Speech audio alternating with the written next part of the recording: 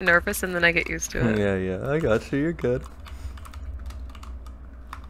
That is the store. I don't like the store. I don't like the store. I don't like the store. Aiden. Wait, what door? Wait, the store? Uh, door. I don't like it. It's, uh, it's too quiet. It's a closet. There's See? nothing in here. I'm sorry. I'm scared. no, no, you're good. You're good, dude. You're good. It's funny. It's good. I like.